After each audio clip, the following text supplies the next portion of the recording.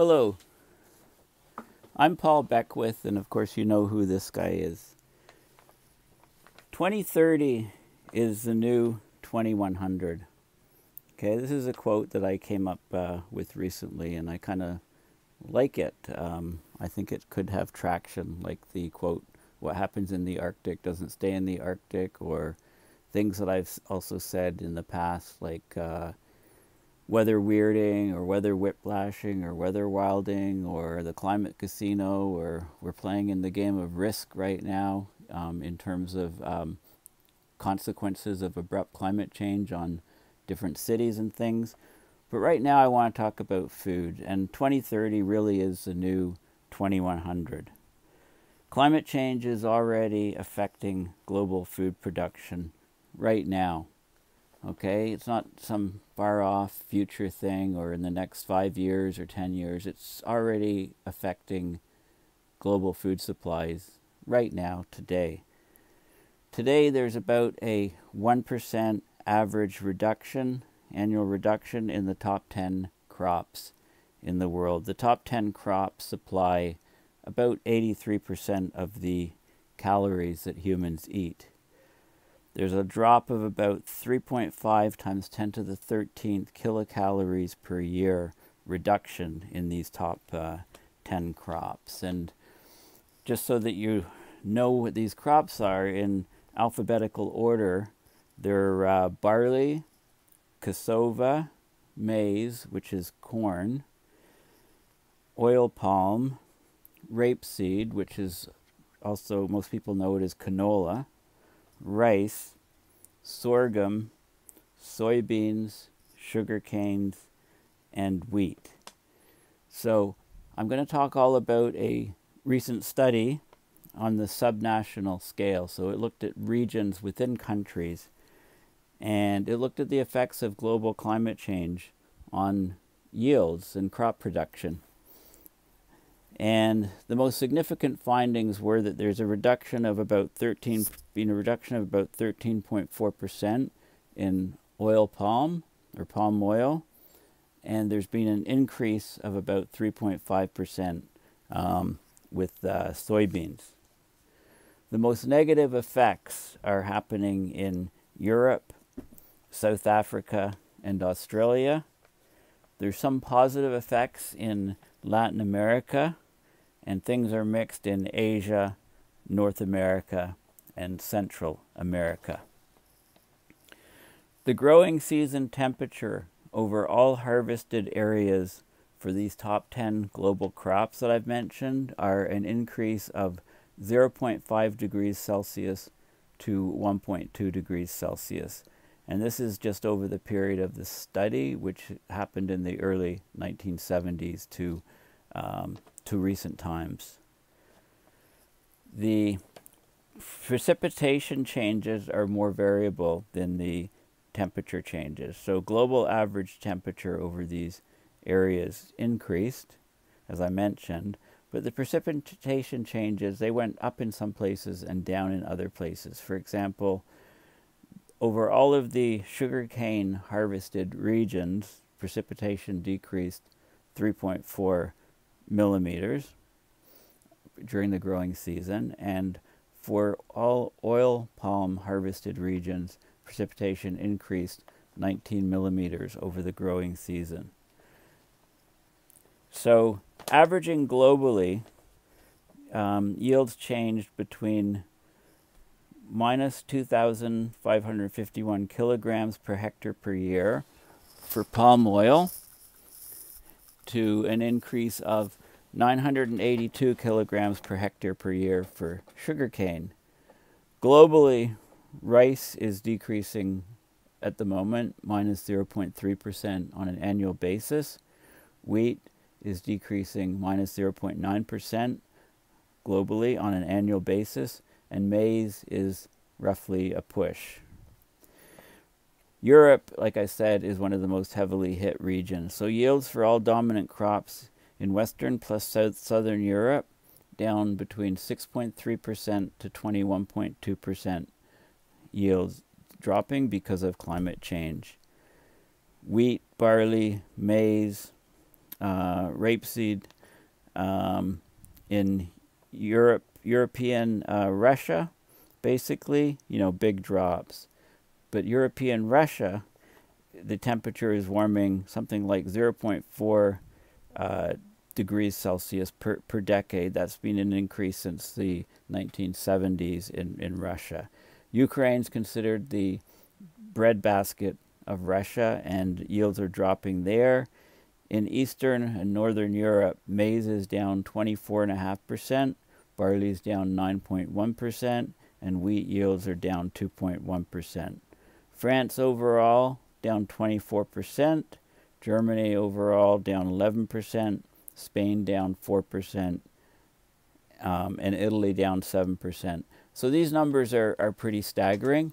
So um, I'm going to talk to you um, about, I'll, I'll, show you the study. It's open source, and uh, I highly recommend that you look at it yourself. I mean, we're not getting the top 10 plagues. By the way, you know, I wondered what the top 10 plagues were, so I actually uh, had a look. And uh, so here they are waters to blood, frogs, gnats or lice, swarms of flies is number four, animals sick or dying, boils or skin infections, I guess that includes shingles, uh, is number six, hail is number seven, locust is number eight, darkness is number nine, maybe from a huge volcanic eruption. Uh, firstborn boys die is uh, the tenth plague. So those are the basically the the ten plagues um, from from from history. So we're not getting all of them, but uh, you know we need to eat. Food is a very important issue, and like I said, 2030 is the new 2100. Okay, so let's have a look at the details now. Okay, so this is my um, this is my website, paulbeckwith.net. Um, please consider um, supporting my work um, with a donation to my PayPal account. Here I was talking about the game of risk and how different countries are are um, being adversely affected seriously by uh, abrupt climate change. Okay, so on my Twitter page, um, this is an article by Deepak Ray on how climate change is already affecting crop yields and food security. And that's the focus of, of this video. Um, let's have a look at the paper. Okay, farmers, of course, have to deal with weather, but climate change is making it harder by altering temperature and rainfall patterns. Just think of the unusually cool and wet spring in the central U.S. and the difficulty in planting. Um, also, over the last um, year, we've had record wet um, conditions in, in the U.S. So, University of Minnesota, Institute of the Environment, they spent four years collecting information on crop productivity from around the world.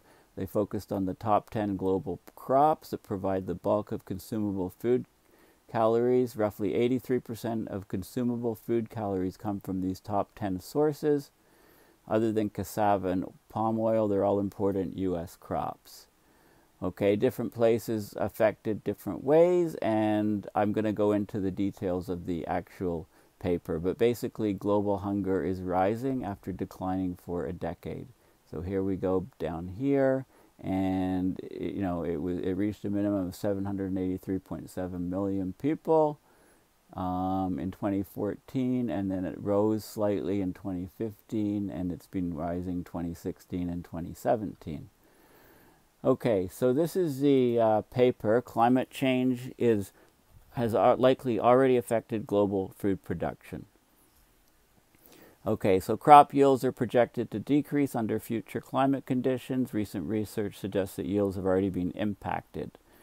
Okay, so they looked at the top 10 global crops barley, cassava, maize, oil palm, rapeseed, rice, sorghum, soybean, sugarcane, and wheat at 20,000 political units. So basically different counties and regions uh, within countries, so, in, so a, a um, subnational scale.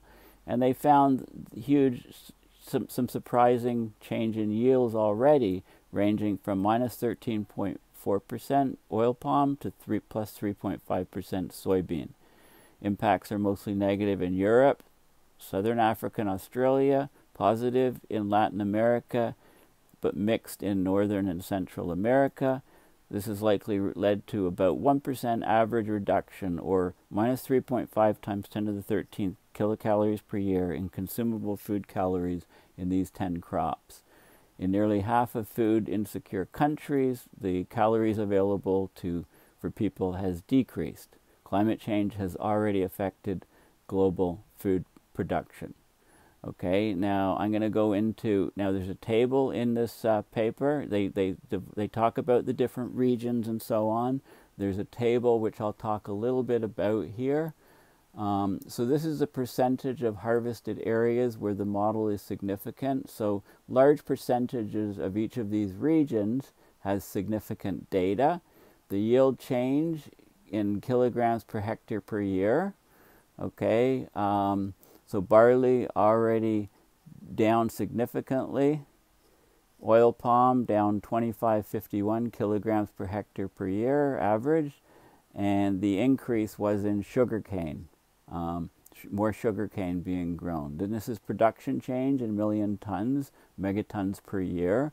So big drops in barley, big drops in oil palm. The biggest increase was in sugarcane. Um, percentage yields of production changed.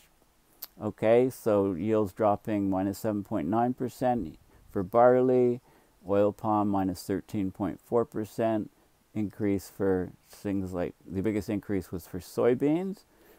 Okay, and this is um, kilocalories, a percentage of kilocalories that are consumed by the crop in the different regions and how those are, are dropping. Okay, and the key findings are these maps here and I'll show you these maps for the different crops but first of all I just want to make sure you're aware of what all these crops are so maize this is maize I'm in Google images just googling maize and here we go we all recognize corn you know most people know it just as corn and not maize it's the same thing then we have rice okay rice plants, and uh, you know we think of them as being grown in in um, waterlogged fields, right? Um, you know, right. This is rice. Then we have wheat. Okay, we all we've all seen wheat fields in North America. You know, driving across the plains.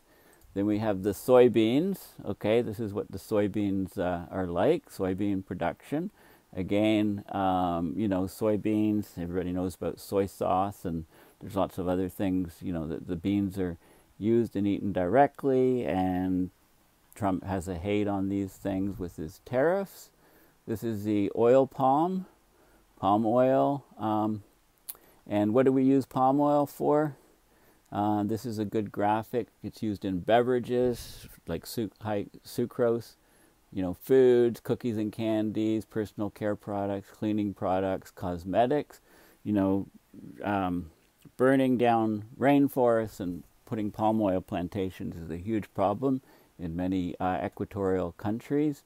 This is sugar cane growing in the fields, for, grows very fast, grows very high, you know, sort of reminds me a bit of bamboo, okay, for making um, sugars. This is the barleys, okay, um, barleys looks like the porridge and things, um, you know, uses of if you, uses of barley, if you're not sure what it's in, um, very man, many different health benefits and uses. You know, here's some bread here. This is rapeseed oil or canola, more commonly known as canola, and canola oil is in many different foods and industrial products. Cassava, we're not so familiar in North America with cassava. It's like a root, high starchy root. Um, uses of cassava, many, many different things. Sorghum um, is the other one. Sorghum grains, it's hardier than a lot of wheats and so on, used for human feed, animal feed, and so on. Now, these are the key findings. Um, you can see, you know, there's barley and rice, and it shows you the regions that are declining most there's maps of all of these things around the around the world and of how the different crops are decreasing. Thanks for listening.